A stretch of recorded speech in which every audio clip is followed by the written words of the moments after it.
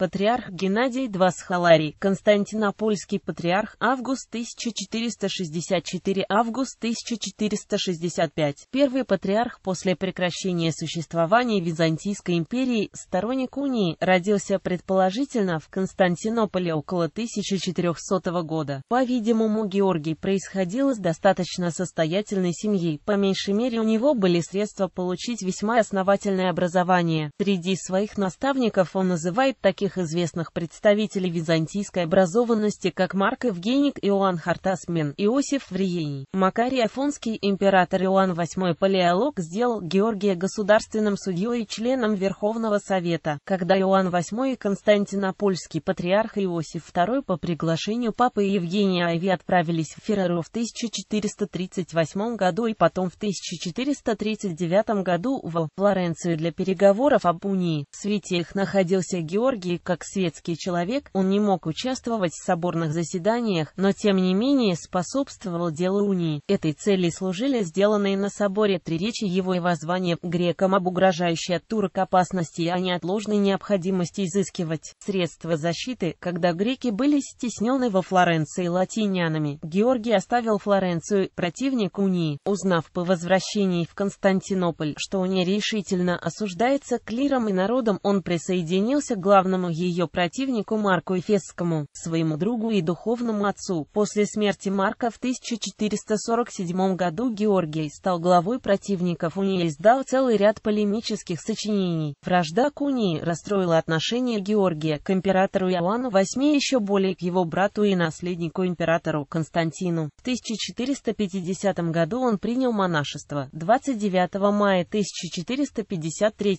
года Константинополь был взят войсками османского султана Мехмеда II. Геннадий, как и многие жители Константинополя, попал в рабство и был увезен в Адрианополь. Приблизительно в конце 1453 года султан велел христианам избрать патриарха сообразно своей вере. Вероятно, этот поворот политики султана привел к освобождению Геннадия из рабства. На богоявление 1454 года он единодушно был избран Константинопольским патриархом. По желанию султана Геннадий составил для него изложение главных догматов христианской веры. Патриарх делал все, что было возможно для облегчения тяжкой участи своих единоверцев. Ввиду бедственного положения византийцев после катастрофы 1453 года и разрушения семей, в целях снисхождения патриарх Геннадий счел возможность признать браки, сложившиеся в условиях разрушений, бегства и гибели людей каноничными. Это вызвало недовольство среди ревнителей канонических норм. Среди наиболее